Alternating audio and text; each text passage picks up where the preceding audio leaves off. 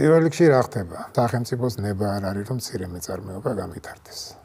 ნება არის მე გეუბნებით ახლა ცოტა სხვანაირად რა. ჩვენ ვართ ეგრევე დაიწყეს რომ საქართველოს უნდა იყოს ტურისტული ქვეყანა. და ამ ტურისტულ ქვეყანაში ჩვენ მივიღეთ ის რომ საქართველოსში ზუსტად ის რაც ყველაზე აუცილებელი არის.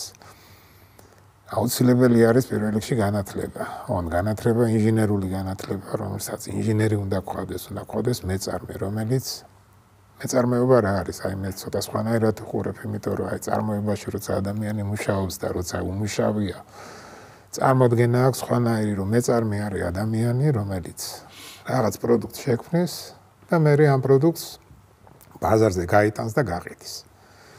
დღესდღეობით ჩვენთან ეს თითქმის არ ხდება. თითქმის არ ხდება, იმიტომ რომ დაახლოებით ახლა მცირე მეწარმეები ვინც არიან საქართველოში, იმათი დაახლოებით 10% არის, რომელიც მართლა რაღაცას აწარმოებს. ну ერთ-ერთი არის აგერ ბატონი გიორგი და მისი ფარმაცევტული კომპანია და კიდე ბევრი სხვა, რომელიც მის გვერდით არიან და დღესდღეობით იბრძვიან მაგისთვის. რომ თავიანთი საქმიანობა გააგრძელონ. დანარჩენი არის მცირე მეწარმეობა, სულთა აი გადამყიდველები. ოღონდ ის ადამიანები, რომლებიც რაღაცებს აწარმოებენ, აბსოლუტურად სახელმწიფოსგან არის მიტოვებული რა, მიტოვებული ყველა მხრიდან.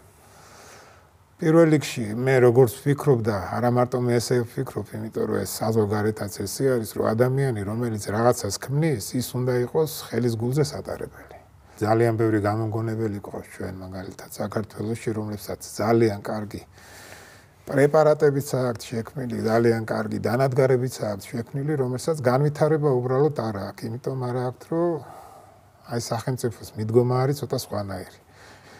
არ არის დაფინანსება, დაფინანსება არ არის, იმიტომ რომ ეს დაფინანსება არის ცოტა სხვა რამეზე წარმართული, უნდა იყოს მაგალითად აი რაც თქვი, განვითარება არის ჩვენი, უნდა იყოს ტურისტული ქვეყანა. ამისთვის დაფინანსება არის.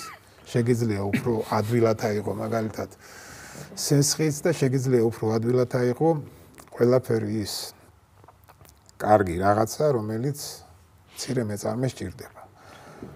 არის ძალიან ბევრი ბარიერი, რომელსაც რომელიც გადალახვაც უწევს აი ამ ცირე მეწარმეებს.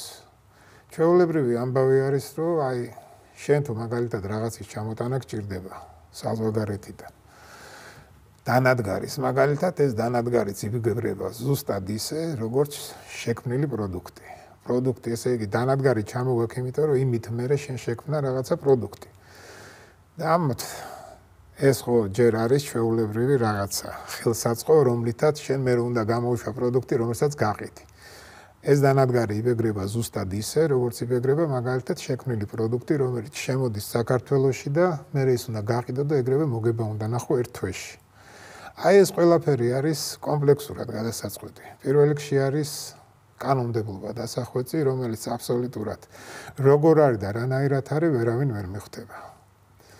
მეორე არის კიდე რომ აი ეს სესხები არის, ну, აი რაღაც კატასტროფული პროცენტი არის კატასტროფული, რომელსაც უბრალოდ მეწარმე ახლა ყველამ უნდა კარგად გაიგოს. მეწარმე რა არის? ადამიანი, რომელიც თავის იდეას განხორციელებაში რომ მოიყვანოს, მან უნდა აიღოს სესხი 2 წელი, 3 წელი, მაინც გჭირდება რომ შენ აქედან დაიწყო მოგებაზე ზრუნვა და მოგებაზე ფიქრი.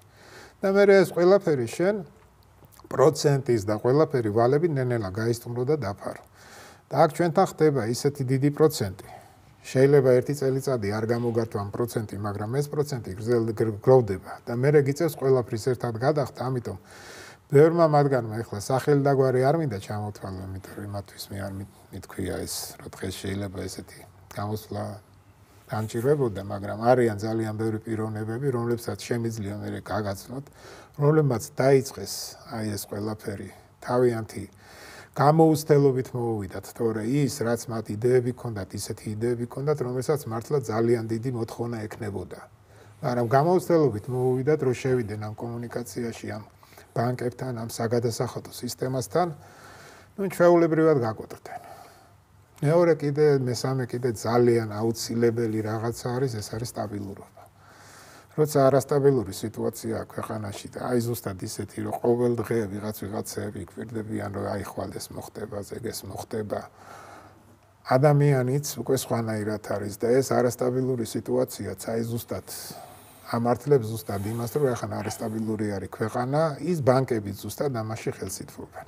პირდაპირ არის ლაპარაკი, რომ აი ხესხი იზრდება, იმიტომ რომ არასტაბილურია, იმიტომ რომ შეიძლება ლარი გაიქცეს, ლარის კურსი გაიქცეს, ლარის კურსი ზემოთ ავიდეს და იმ ხელა პროცენტს ადებენ არარეალურ პროცენტს, რომ ადამიანი ჩვეულებრივი ჩვენ მცირე მოწარმე, მცირე მეწარმეზე მაქვს ლაპარაკი.